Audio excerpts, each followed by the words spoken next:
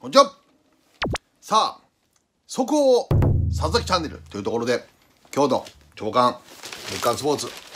なんと阪神対談福留選手事実上の戦力外というねまあ報道が出ましたけどもまああのまあ、このね紙面報道によるとですねえー、移籍先を、まあ、これから探していくというところで、まあ、引退ではないっていうね、まあ、戦力外っていうところで、まあでもね、今現在、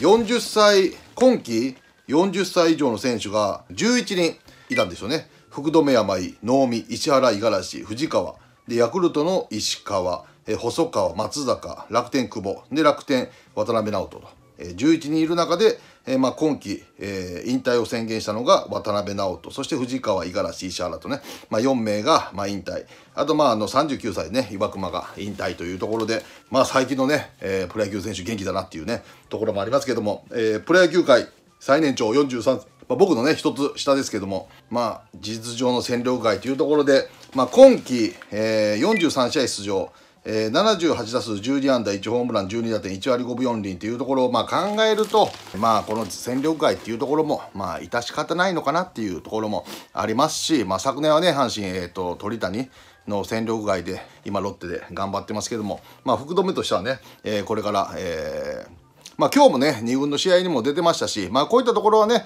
阪神タイガースの、まあ、温かいね起用っていうかね、まあ、まだそのね2軍でもゲまあ普通だったらねもう占領下になるんだったら若手選手出してもう使わなくてもいいじゃないかと。これからの若手選手を出して来年のためにやった方がいいんじゃないのかってね。いう意見もまあ確かにっていうところもあるし僕自身そっちの方の意見も賛成っていうところもありますけども。でも逆に、えー、この福留選手がね今日スタメンに出てるっていうところでまあ三振してたのかな。ですけどもそのまだ元気だっていうところを見せればひょっとしたらね他の11球団から、えー、欲しいっていうね。声が、えー、聞こえるかもわからないっていうところでねそういう元気な姿を見せるために起用するっていうそのもう一方のか意見っていうのもね確かにっていうねところもあるような、えー、今日の、えー、動きになってましたけども最近ねやっぱりあの、プロ野球まあプロ野球選手の引退でいうとやっぱ二分化してきてると思うんですよね。まあ、一つはもうあの自分の限界を感じたら潔く引退する。まあこれはこれでね、一つ。まあ僕はそっちのラインですね。まあ一つの考え。で、もう一つはもう泥んこになりながら、えー、がむしゃらに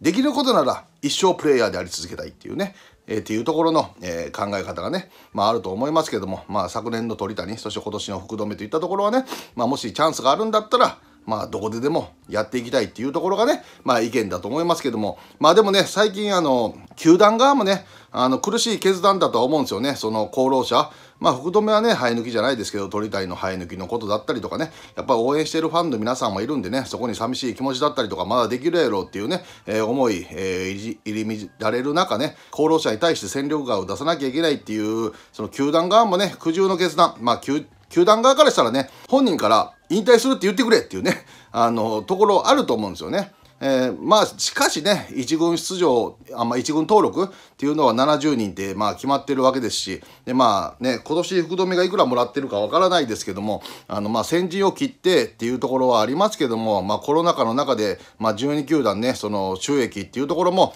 まあ100%下がっている中で、えー、来年以降も維持していかなきゃいけないところで一番やっぱり減らさなきゃいけないっていうところはやっぱ人件費でもある年俸っていうところを考えたらぱりそのね、えー、年長者から戦力外になるっていうのは、まあ、特に今年の状況で言うとね、まあ、致し方ないのかなっていうところもありますし、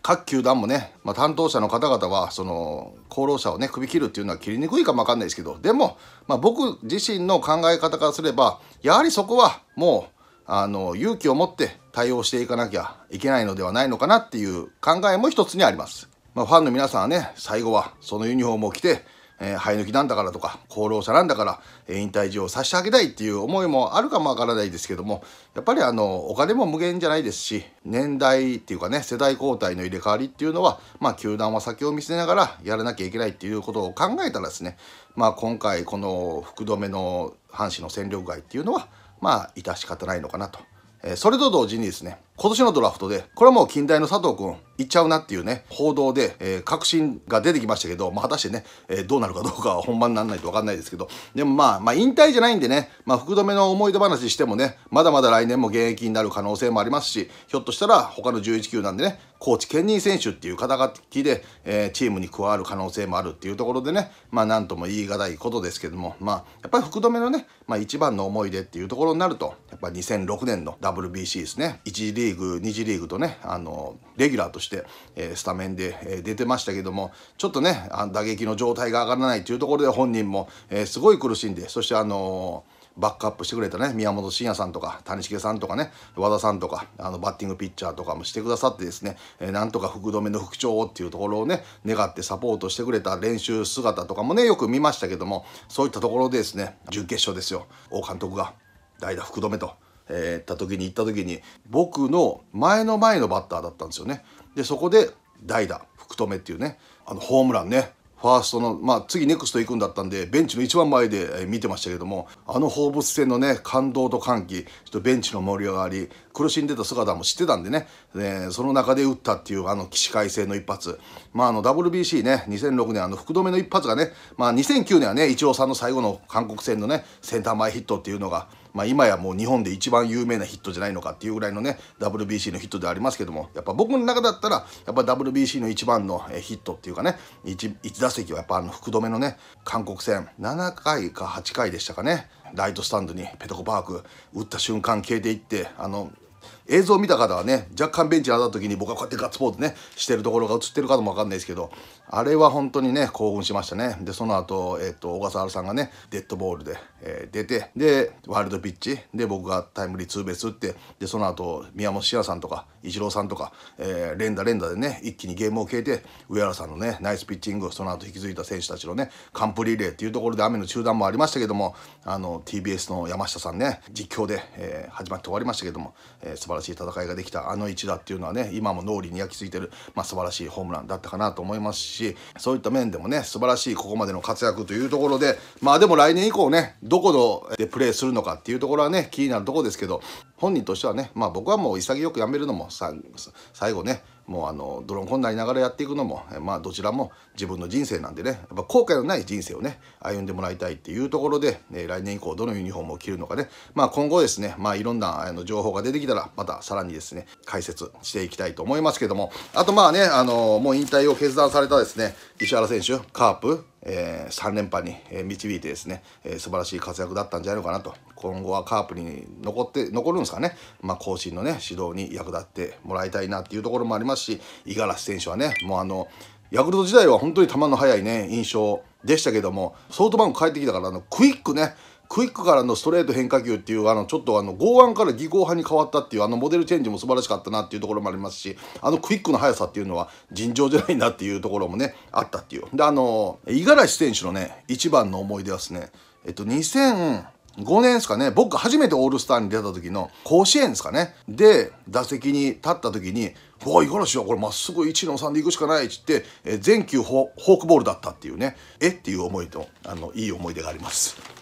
あとはですね藤川球児ね。まあ藤川球児この前ねやりましたけども。渡辺直人はね、まあ、楽天の時も高須さん2世かっていうねいぶし銀でね、まあ、守備もいい走ってもいい小技も効くね反対方向のバッティングとなんかいやらしさっていうのがねプレーにまあ人は良さそうですけどねプレーはいやらしいっていうねあの二面性を持ったプロ野球選手だったかなと思いますしそして先日ね、まあ、あの引退を、えー、表明した、えー、ジャイアンツ岩隈投手ね、まあ、メジャーから帰ってきてここ2年間ね、えー、怪我で、えーまあ、1軍でプレーするっていうところがね叶わなかったですけども、まあ、ファンの皆さんもね残念な気持ちかもわかんないですけどもね本人がまあ一番悔しいのかなっていうところはありますけど、まあ、ここまでのね実績で言ったら、まあ、本当に素晴らしい、えー、ピッチングだったなと、まあ、あの近鉄でね、えー、行ってからで楽天に行って、まあ、2005年ね、えー、楽天初勝利を挙げるナイスピッチング。ロッテの佐々木負けてしまいましたけど、まあ、2安打打ったんですけどね、あのー、でそれからメジャーに行ってね、えー、ノーヒットノーランっていうところで、まあ、素晴らしい、えー、選手生活だったんじゃないのかなっていうところはね、まあ、ありますね。まあ、岩隈投手の一番の思い出で言うとですね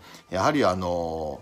何年か忘れたんですけど清水直さんと岩隈が、えーと4連勝対決みたいな感じになって京セラドームですねでそこでバッティングコーチの山下さんがですね「まあ、佐藤狙い球絞っていかへんか?」っていう話になって「ああじゃあ絞っていきましょうよ」って「何すか?」って言ったら「カウント取りスライダーが多い傾向あるからそれ狙っていけ」じゃあスライダー狙っていきますね」って言った打席でスライダーをものの見事にレフトへホームラン打ってその前前勝対決に勝ってですね清水直さんが5勝目をね挙げた試合っていうのがありましたけどもその試合を記憶している皆さん素晴らしい。ね。っていうところでまあそういった意味でね、まあ、あの日米えーにかけて、えー、素晴らしいピッチャーだったなと思いますし、えー、コントロール、えー、全ての球種のクオリティ高くですね対戦してもなかなかね、えー、打ちづらいピッチャーだったなっていうところが、えー、経験した。えー、ことの中でありますけどもまあね今年引退される皆さんそして福留はね今後も、えー、頑張っていきますけども本当にお疲れ様でしたとあとですねまあ福留の話で言うとですね、えー、まあ今後ねどういう展開になっていくか分かんないですけどもまた何か決まれば速報という形で佐々木チャンネルでお送りしたいと思います。というところで今日はこれまでです。